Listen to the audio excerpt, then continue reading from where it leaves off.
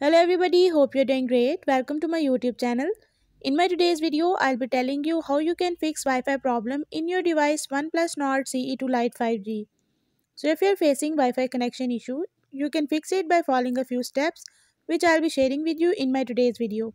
But before that, hit the red subscribe button and the bell icon to stay updated. Now watch this video and you will learn how you can fix Wi-Fi problem in your device OnePlus Nord CE2 Lite 5G.